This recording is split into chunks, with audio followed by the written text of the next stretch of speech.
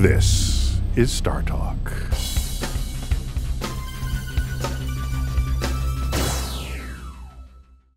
All right. Um. Okay. So we got. Yeah, we got uh, one more. We got one more before we break. All right. This is from Rob Z.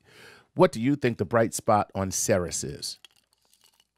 Oh, Ceres. Ceres. Uh, yeah. So the the largest asteroid is actually has enough gravity to turn it into a round shape. So it's the only round asteroid. Technically, it- we shouldn't even call it an asteroid. Is it a? Uh, what would a dwarf planet then? Precisely. No. Chuck. Oh, I've been hanging around you too long.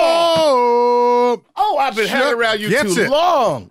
So objects that are that are just big enough to be turned into a sphere by their own gravity, Right. But they haven't cleared their orbit because Ceres is orbiting in the asteroid belt, dwarf planet. Right. Pluto, Okay. big enough to be a sphere, but it's orbiting in the Kuiper belt, dwarf planet. There Gotcha. you go.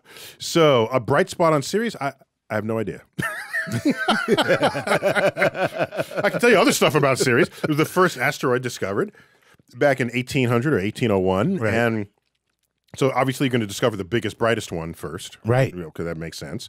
And they wanted to. They thought they discovered a planet, and so they want. And planets are named after Roman gods. God, and so they named it after um, Roman Roman goddess of harvest. And Mm-hmm. Ceres, that's the root of the word cereal. Right. Mm, whole grain oats. That's why- That's deli- That's a delicious planet. So that's- or dwarf planet. So that's Ceres. There's so uh, I'm guessing it's a highly reflective, icy area, Right. of it of the object because ice can be very reflective relative to any other kind of rock, Gotcha. and it doesn't take much to be more reflective than rock to show up blazingly in images you take of an object. Gotcha. So that's my guess. Yeah. Well, there you go, Rob. Get yourself a bowl and a spoon and enjoy some Ceres.